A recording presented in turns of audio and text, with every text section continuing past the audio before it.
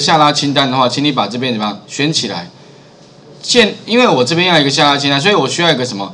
最好定义一个名称。前面讲过嘛，你把这边年跟底下的东西全部选起来。公式里面有一个什么？从选取范围建立顶端列。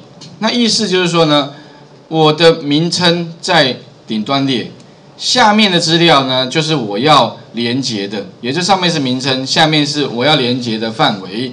所以按确定之后的话，你可以在名称管理员里面看到。这边就有个年出现了，它对应的范围哈，你如果点这底下的话，它也会告诉你啊，你的年就指的是这个范围啊，记得哦，不要有错误哈，按关闭，好，再切回来。如果你这边要做一个下拉清单的话，你可以直接怎么样？资料里面的什么呢？资料验证应该还哎，前面应该有讲过类似的东西吧？好，特别是这个非常好用，因为下拉清单哦，很多时候呢都会用到，为什么？因为你就可以有个下拉清单，以后常用的东西就下拉就好了，不用再自己 key 了啊。然后呢，清单，对不对？所以可以从那个记得这个应该常做就熟了啊。资料里面的资料验证，这边先改清单。来源的话呢，记得哈，按下什么 F 三，有没有？因为我刚刚定义了名称之后，就会有个名称出现。那利用这个方式。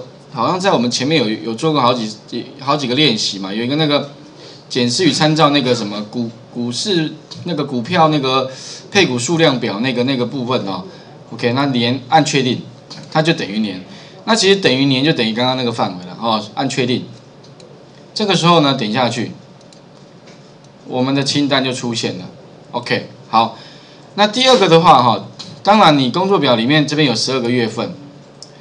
不过哈，我觉得啦，如果说你当然可以搬过来，不过我觉得，如果这个下拉清单里面的资料是永远不会变的，永远不会变，意思是说，一年里面十二个月哈，它绝对不可能改变的，它不会说下一年度变十一十一年或变十三年的话，那我建议哈，你这边资料验证的话，一样是清单，来源的话不用做了，你干脆就这样哈，一逗点。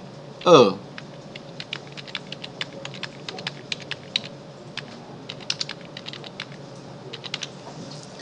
来源部分的话，哈，你干脆就给它写固定算了。